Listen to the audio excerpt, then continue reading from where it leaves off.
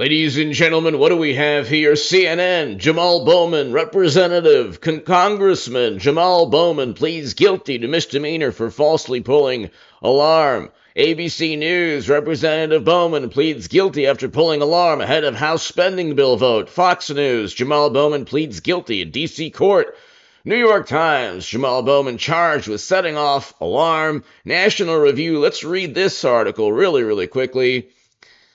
Two tiered justice system, Biden DOJ protects Dem Congressman Jamal Bowman over. So it's interesting. You look, why isn't Representative being charged with felony obstruction of Congress? Because that's what took place. He obstructed a congressional hearing by denying that he pulled the alarm in a really stupid public relations stunt and now he's charged with a misdemeanor. But if it was a Republican, it would be, oh my God, he tried to overthrow the country. Trump um, made him do something that was illegal, commit a crime, and oh, our norms and traditions. Oh my God. But you can rest assured that Jimmy Kimmel and Stephen Colbert and Seth Meyer and John Oliver will never in a million years make a joke at the expense of Congressman Bowman. The New York Times, MSNBC, CNN, The Atlantic, um, Vanity Fair, Esquire, Rolling Stone, nobody will care. None of the editors who all despise Trump in 30 or 40 of the major political publications in this country. Nobody in Hollywood will care it was a very uh, sad public relations stunt where he was trying to interfere with an official um, government proceeding. Where have we heard this? Okay, now it's interesting. They say, well, it's nothing like January. Um, Trump never told anyone to commit a crime in January. Number one, this is a fact. Trump never told anyone to commit a crime ever. And by the way, hit subscribe to this channel right now, ladies and gentlemen, to read my writing in The Hill, The Huffington Post, Salon, The Jerusalem Post, The Federalist, other publications. Go to hagoodman.com. To my super thanks, thank you, that's below. To my new Patreons, thank you so very much. He's not being charged with felony obstruction of Congress.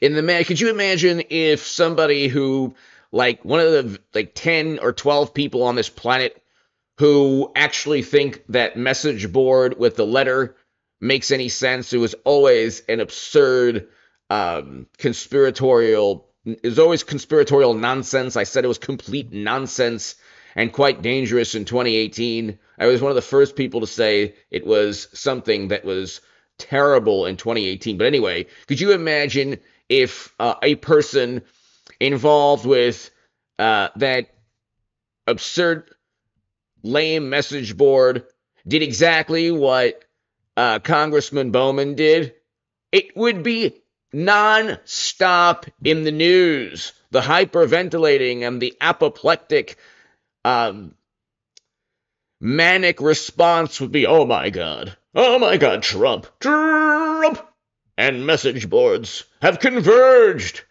to have somebody yet again try to prevent an official proceeding in Congress to take place. But that didn't happen. Okay? So Democrats were scrambling to delay a budget vote. Progressive New York Democrat pulled an alarm. By the way, progressive um, Yonkers, one of the um, one of the areas he represents, has a 13.2% poverty rate. Okay, higher than the national average.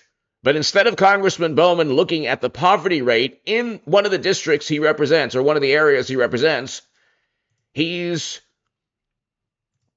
he's he's pulling alarms and then of course denying it. So he denied, we'll get to that article. He denied pulling the alarm, which and I got to say, I the one thing I can say about Congressman Bowman, even though um, it's a theatrical performance that was a f- miserably failed public relations stunt, which is what Democrats are used to. You have AOC with a Green New Deal that even Democrats didn't vote for. but he did bench 405 pounds. I think that's pretty good. that's pretty, you can you can look at my video uh, where I I I do a 110 pound dumbbell press each hand. But 405, 400, pretty good, I have to say. Pretty amazing. Um, other than that, uh, he apparently focuses more on public relations than the poverty rate in one of the areas he represents. So that is a typical um, left leaning, quote unquote, progressive Democrat. It's all public relations, it's image. They know very well, Democrats, that media will converge along with the Justice Department, along with Hollywood, along with social media algorithms to prevent any discussion of really absurd uh, behaviors. For example, Hunter doing something with another Democratic mayor. Okay? Nobody talks about that. In addition to, of course, Hunter being asked for influence. Literally advice right here above me, advice on how you could use your influence on the company's behalf. There should never have been even an investigation. It's already within the emails that are shown to have been legitimate. That's why Hunter is suing, I believe, Giuliani. so at the same time, Hunter is saying that they stole his laptop, which are abs- which, which are full of legitimate, real, genuine emails, which show graft and bribery and selling access to the U.S. government. So it's pretty unbelievable what Democrats get away with. But initially, Democrat Jamal Bowman denies pulling the alarm to delay vote.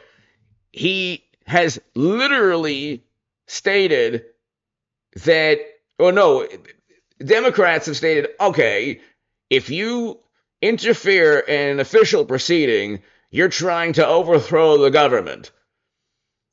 Then you found out that there were people, speaking of the absurd, stupid message board, dressed in uh, funny uh, costumes, walking around that building, who were then let go because Tucker Carlson showed that it wasn't some kind of rebellion. Yes, there were people committing crimes, but within that building, a lot of people were just walking around. Okay, not what Democrats have and media have told you. But the whole big thing was they're trying to interfere with an official proceeding, which is exactly what Congressman Bowman did. Okay, did he do exactly what um, the people committing crimes, major crimes, did? No, of course not. But all throughout that summer, you had one to two billion dollars in property damage. Okay, I agree with why people peacefully demonstrated, but then again, Democrats get away with pretty much everything. One to two billion dollars in property damage from left leaning demonstrators. And again, I'm not equating the underlying causes for the mayhem. I agree with why people peacefully demonstrated that summer.